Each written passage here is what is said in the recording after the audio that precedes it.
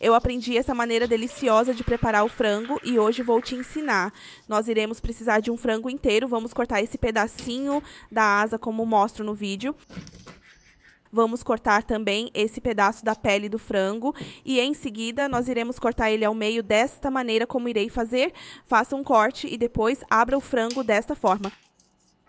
Quando você abrir o frango, vire do outro lado. Nós iremos precisar de um martelo de cozinha para amassar bem a carne desse frango.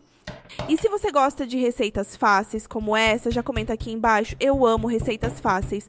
Depois de amassar muito bem o frango com o martelo de cozinha, vamos temperar. Tempere com uma colher de chá de sal. Acrescente também uma colher de chá de pimenta do reino e espalhe muito bem sobre o frango. Depois nós iremos virar para temperar do outro lado. Também acrescente uma colher de chá de sal. Acrescente pimenta do reino a gosto e basta misturar tudo muito bem.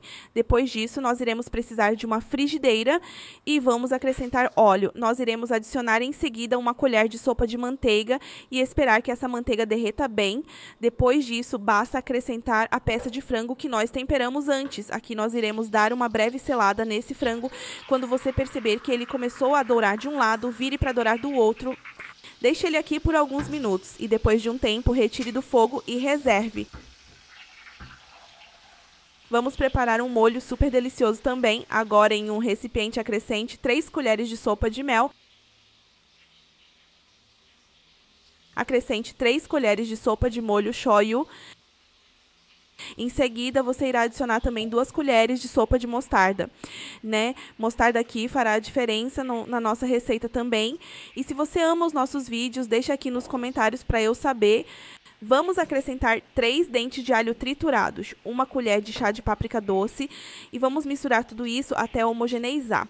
E já me conta aqui nos comentários em qual cidade o nosso vídeo chegou, quero muito te conhecer. Depois disso, pegue o frango que nós selamos no início e acrescente em uma assadeira juntamente com papel manteiga. Nós iremos passar o molho que nós acabamos de preparar sobre o nosso frango. Esse molho dará um sabor maravilhoso e uma suculência perfeita para esse nosso frango de hoje.